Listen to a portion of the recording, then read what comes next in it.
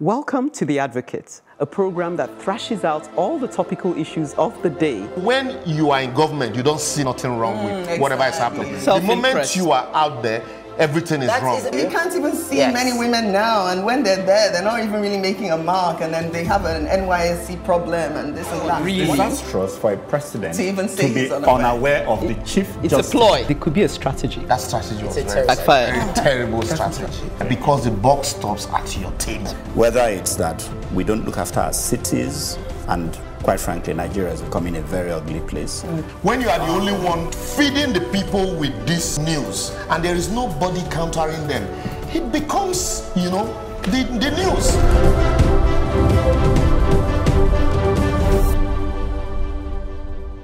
All right, welcome to The Advocate. Another week, but certainly not just another program. This one comes with plenty of sauce. Uche shakes things up by challenging Are we a nation without hope?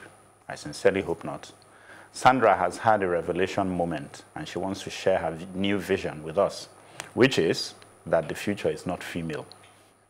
To some, might say, bifonko. Liberus is ready to break the table. He says, divided we stand. Some might strongly agree, just as some might disagree. So we might as well be divided on this one. Emeka is doing a stock take of sorts, and he queries Is the Nigerian stock market playing a magic trick on us?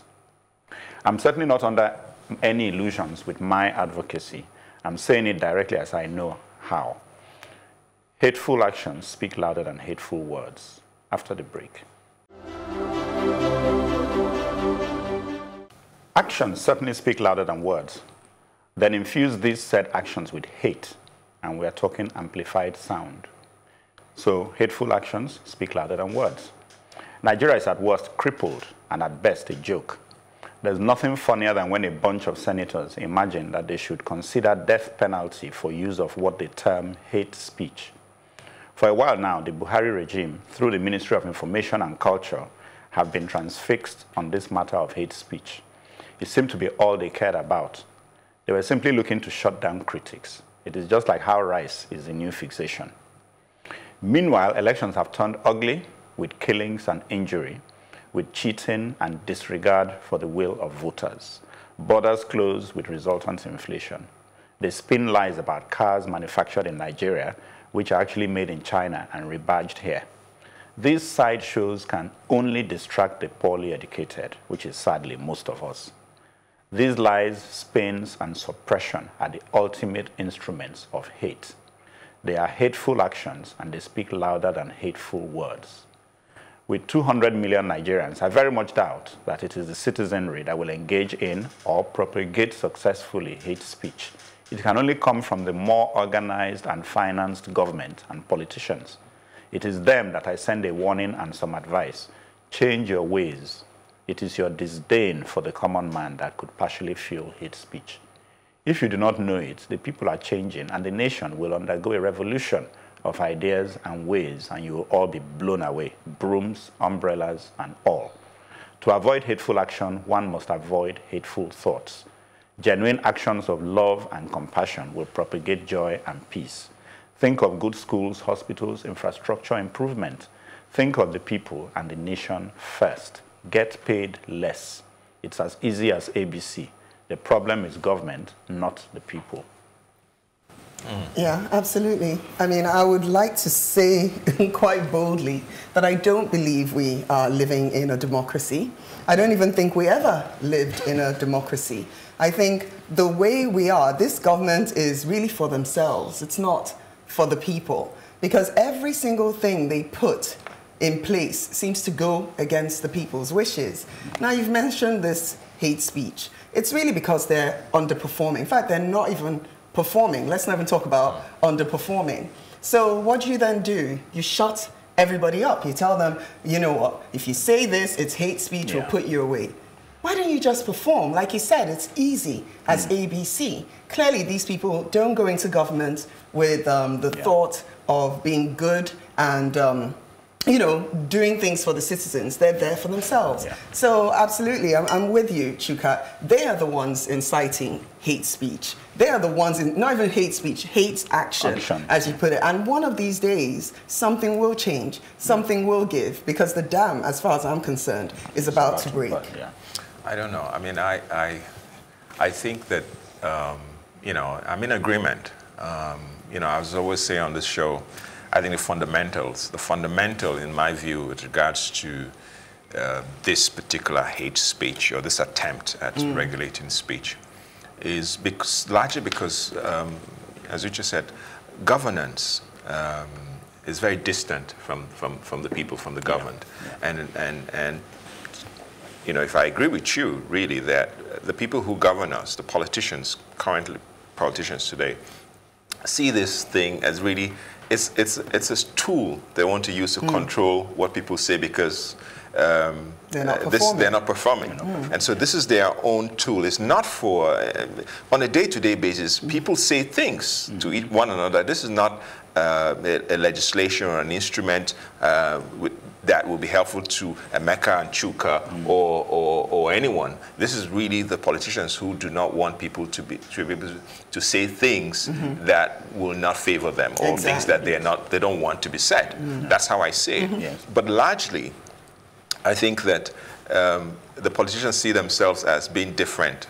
It's almost like that um, GRA mentality. Mm. You know, when the colonial people came, they went and built themselves nice houses in government reserved areas. Um, when the British left, our politicians then went and lived in those Lived in places and now saw themselves as distant from, from, from, the people. So they are secluded. So the people in, in the parliament see themselves as that. And I think that's really, so they're creating laws to create a barrier, a barricade Correct, yes. to defend themselves from us. Yes. And that's really how I see Yeah. it. And I mean, what um, I think they are also trying to do is to create sort of like a one-party system, whereby the critics are being silenced and you know they don't have a voice to speak out or to yeah. challenge whatsoever they're doing.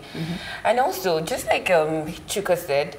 At this point in time, is this what we really need? Mm, mm. Mm. Talking about hate, hate speech. I mean, we are faced with situation of you know corruption and faced with election killing, and then you are trying to propagate. So I think this is just a misplaced priority, and the government is simply trying to chase shadows at this point in time, trying to divert the um, the, the populace their attention from what is currently happening hmm. to chasing hate hmm. speech. Hmm. And fixing death penalty. I mean, it is ridiculous. outrageous and really ridiculous. because first of all the constitution already states what should happen. We all have we're guaranteed freedom of speech freedom of expression. You're coming to introduce death penalty. For what? for what exactly? To what end? You, you see, uh, uh, briefly, like we all agree that um, um, it's um, the fear of underperformance uh, because this government came with so much promises, so much hope. And I agree with you that um, action begets hate, sp- hatred. Um, and if you talk about the action of this government right from in opposition, they actually, you know, created hatred. They spread hatred. Yes, they did. They founded hatred in politics that mm-hmm. in 2015, a lot of people were scared that we might not see beyond 2015. Mm-hmm. And like Senator Abaribe once said, if we had this law in place from 2011 to 2015, Alhaji Lai Mohammed would not be alive mm-hmm. today. Today. even the If you remember himself. also, Yeah. the president Also made some after the election, one expected that, you know, being the president, whether for those that elected you and those that didn't elect you, you would unify and unite everybody because the drums of war, the hatred that Yes. you people created. But what did he do? So he said, I don't, I won't treat everybody the same way. Exactly. 75, 97 and 5%. Yes. I don't know how that mathematics add to 100. That's a topic for another day. As if that's not enough.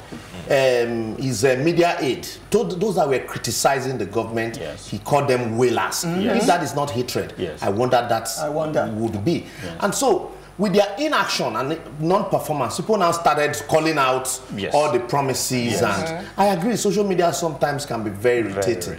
But to now say that um, you will want to kill people Yeah, for criticizing. Outrageous. And this was the same government that came and said, I belong to nobody and I belong to everybody. Everybody. But you have been selective so far. And if you are selective and you still don't want us to point out those.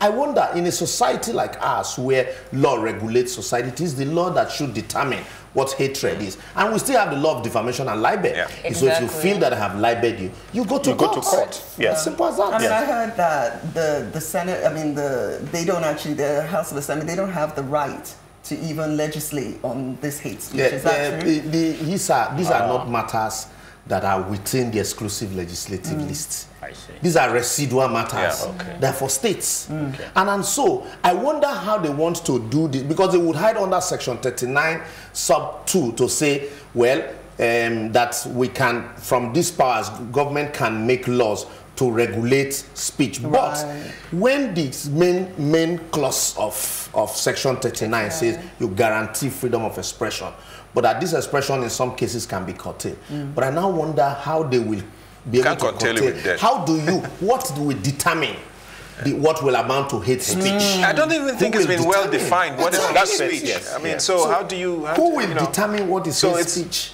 And even as we speak now, there are from 1999, you know, because once you're on death row, the governor need to consent before such person can be Can be executed. executed. No, it's From 1999 to date, No. not more than one governor has signed, Yes. you know, Yeah. warrant of execution. Yes. And, and so, because they also know that what is breeding all of this is the corruption that they all are involved in. Absolutely. Well, we keep speaking, though our words may be misunderstood. Ultimately, we want what's best for the majority. Ironically, Uche wants to provoke hope by challenging us to acknowledge the root causes of an apparently hopeless situation after the break.